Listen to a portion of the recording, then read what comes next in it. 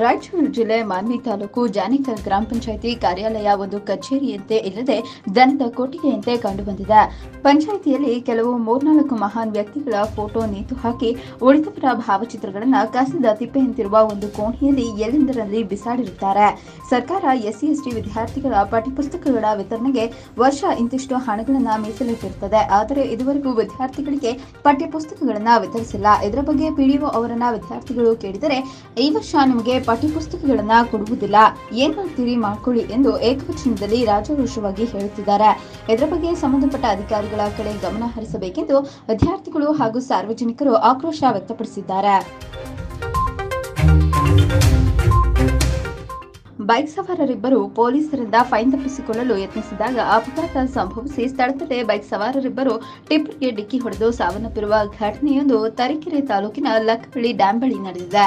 ಪೊಲೀಸರಿಂದ ಫೈನ್ ತಪ್ಪಿಸಿಕೊಳ್ಳಲು ಯತ್ನಿಸಿದಾಗ ಅಪಘಾತ ಸಂಭವಿಸಿದ್ದು ಹೆಲ್ಮೆಟ್ ಡಾಕ್ಯುಮೆಂಟ್ರಿಗಾಗಿ ರಸ್ತೆಯಲ್ಲಿ ಫೈನ್ ಹಾಕುತ್ತಿದ್ದ ಪೊಲೀಸರನ್ನ ಕಂಡು ತಪ್ಪಿಸಿಕೊಳ್ಳುವಾಗ ಟಿಪ್ಪರ್ಗೆ ಡಿಕ್ಕಿ ಹೊಡೆದಿದ್ದಾರೆ ಎನ್ನಲಾಗಿದೆ. ಮೃತರ ಹೆಸರು ತಿಳಿದು ಬಂದಿಲ್ಲ ಲಕ್ಕವಳ್ಳಿ ಪೊಲೀಸ್ ಠಾಣಾ ವ್ಯಾಪ್ತಿಯಲ್ಲಿ ಪ್ರಕರಣ ದಾಖಲಾಗಿದೆ. ಸರಕು ಸಾಗಣೆ ಮಾಡುತ್ತಿದ್ದ ಎರಡು ಲಾರಿ ನಡುವೆ ಮುಖಾಮುಖಿ ಡಿಕ್ಕಿಯಾಗಿದ್ದು ಇಬ್ಬರು ಸ್ಥಳದಲ್ಲೇ ಸಾವನ್ನಪ್ಪಿರುವ ಘಟನೆ ನಡೆದಿದೆ. ಹಾಸನ ಜಿಲ್ಲೆ ಆಲೂರು ತಾಲೂಕಿನ ಸಿಂಗಾಪುರ ಗ್ರಾಮದ ಬಳಿ ಘಟನೆ ಸಂಭವಿಸಿದೆ.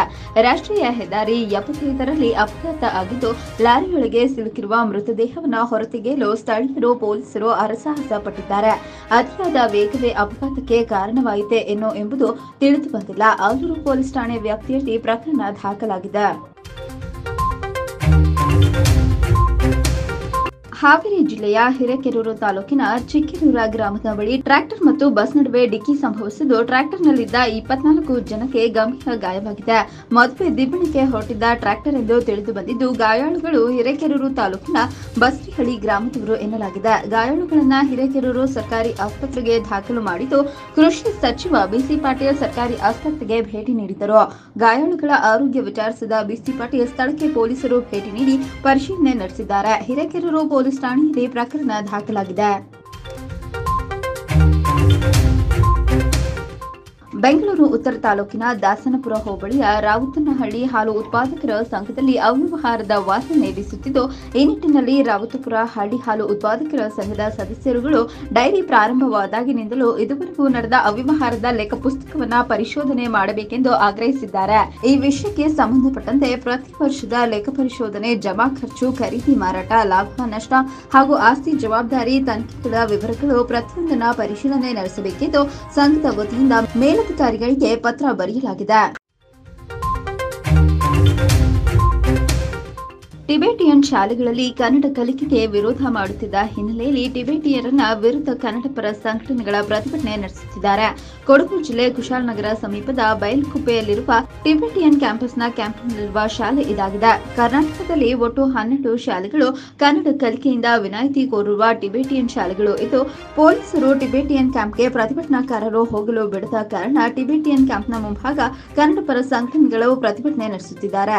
ಕರ್ನಾಟಕ ರಕ್ಷಣಾ ವೇದಿಕೆಯ ಶಿವರಾಮೇಗೌಡ ಬಣದಿಂದ ಪ್ರತಿಭಟನೆ ನಡೆಯುತ್ತಿದೆ. ಚನ್ನರಾಯಪಟ್ಟಣದ ಚರಂಡಿ ನೀರನ್ನ ವೈಜ್ಞಾನಿಕವಾಗಿ ಸಂಸ್ಕರಣೆ ಮಾಡದೇ ಇರುವುದರಿಂದ ಗದ್ದೆಗೆ ಕೊಳಚೆ ನೀರು ಹರಿಯುತ್ತಿದ್ದು, ರೈತರಿಗೆ ಹಾಗೂ ಗ್ರಾಮಸ್ಥರಿಗೆ ತುಂಬಾ ತೊಂದರೆಯಾಗುತ್ತಿದೆ.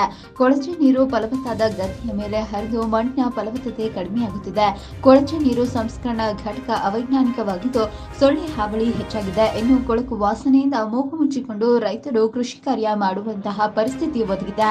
ಆದರೆ ಪುರಸಭೆ ಅಧಿಕಾರಿಗಳು ಮಾತ್ರ ಇತ್ತ ಗಮನ ಹರಿಸುತ್ತಿಲ್ಲ. ಕೊಳವೆ ಬಾವಿಯಲ್ಲಿ ನೊರೆ ಮಿಶ್ರಿತ ಕೆಟ್ಟ ವಾಸನೆ ನೀರು ಬರುತ್ತಿದೆ. ಪ್ರತಿನಿತ್ಯ ಪಟ್ಟಣಕ್ಕೆ ತೆರಳಿ ಹಣ ಕೊಟ್ಟು ಶುದ್ಧ ಕುಡಿಯುವ ನೀರು ತರುವಂತಾಗಿದೆ. ಪುರಸಭೆ ಅಧಿಕಾರಿಗಳು ಹಾಗೂ ರೈತರ ಹೆಸರಿನಲ್ಲಿ ಅಧಿಕಾರಿಗಳು ಮಾಡುವ ಜನಪ್ರತಿನಿಧಿಗಳು ಇತ್ತ ಗಮನ ಹರಿಸಿ ಕ್ರಮ ಕೈಗೊಳ್ಳಬೇಕಾಗಿದೆ. ಮಾಗಡಿ ವಿಧಾನಸಭಾ ಕ್ಷೇತ್ರದ ಅಕೂರು ಗ್ರಾಮದಲ್ಲಿರುವ ಮಡಿವಾಳ ತಿಮ್ಮಯ್ಯನವರ ಮಠವು ಇತಿಹಾಸ ಪ್ರಸಿದ್ಧವಾಗಿದೆ. ಈ ಮಠದಲ್ಲಿ ಮಡಿವಾಳ ಸಮಾಜದ ಗುರುಗಳು ಜೀವ ಸಮಾಧಿಯಾಗಿದ್ದಾರೆ. ಈ ಮಠಕ್ಕೆ ಸುಮಾರು ನೂರ ಹದಿಮೂರು ವರ್ಷಗಳ ಇತಿಹಾಸವಿದೆ. ಈ ಸಂದರ್ಭದಲ್ಲಿ ನವಕರ್ನಾಟಕ ಸೇವಾ ಫೌಂಡೇಶನ್ ವತಿಯಿಂದ ಮೊದಲನೇ ವರ್ಷದ ಮಹಾಶಿವರಾತ್ರಿ ಹಬ್ಬವನ್ನು ಅಕೂರು ತಿಮ್ಮಯ್ಯನವರ ಮಠದಲ್ಲಿ ಆಚರಿಸಲಾಯಿತು. ದಾವಣಗೆರೆ ಮೇಯರ್ ಅಧ್ಯಕ್ಷ ಚುನಾವಣೆಯ ವೇಳೆ ಕರ್ತವ್ಯ ಲೋಪದ ಹಿನ್ನೆಲೆಯಲ್ಲಿ ಇಬ್ಬರು ಅಧಿಕಾರಿಗಳು ಅಮಾನತು ಮಾಡಲಾಗಿದ್ದು, ದಾವಣಗೆರೆ ಜಿಲ್ಲಾಧಿಕಾರಿ, ಜಿಲ್ಲಾ ಚುನಾವಣಾ ಅಧಿಕಾರಿ ಆದೇಶ ಹೊರಡಿಸಿದ್ದಾರೆ ಎನ್ನಲಾಗಿದೆ. ಮತದಾರ ನೋಂದಣಾಧಿಕಾರಿ, ಪಾಲಿಕೆಯ ಕಂದಾಯ ಉಪಾಯುಕ್ತ ಕೆ. ನಾಗರಾಜ್ ಹಾಗೂ ಸಹಾಯಕ ಮತದಾರ ನೋಂದಣಾಧಿಕಾರಿ, ಪರಿಷತ್ ಕಾರ್ಯದರ್ಶಿ ಕೆ. ಜಯಣ್ಣ ಅಮಾನತಾಗಿದ್ದಾರೆಂದು ತಿಳಿದು ನಿವೇದಿತ ಚಂದನ್ ಶೆಟ್ಟಿ ಮದುವೆ ನಡೆಯುತ್ತಿದ್ದು, ನಿವೇದಿತ ಮನೆಯಲ್ಲಿ ಸ್ತಂಭ ಮುಹೂರ್ತ ಶಾಸ್ತ್ರ ಸಂಭ್ರಮದಿಂದ ಏರ್ಪಟ್ಟಿದೆ.